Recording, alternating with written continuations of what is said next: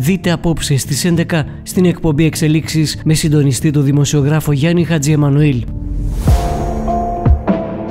Οι επιπτώσεις στη χώρα από την υγειονομική κρίση τι φανερώνουν οι τελευταίες δημοσκοπήσεις. Στο στούντιο καλεσμένος ο δικηγόρος Χαράλαμπος Κουφατζής. Ζωντανή σύνδεση με τον καθηγητή συνταγματικού δικαίου Άλκη Δερβιτσιώτη, τον αντιπεριφερειάρχη Καβάλας Κώστα Αντωνιάδη, αλλά και τον δημοσκόπο της εταιρείας Interview Δημήτρη Βασιλιάδη. Και ακόμη ζωντανή σύνδεση με τον υπεύθυνο του εργαστηρίου στο Γενικό Νοσοκομείο Καβάλας, βιολόγο Γιώργο Καραμάνη, αλλά και την πρόεδρο των εργαζομένων Κατερίνα Πετράκη. Απόψε στις 11 στην εκπομπή Εξελίξεις με τον Γιάννη Χατζη Εμμανουήλ.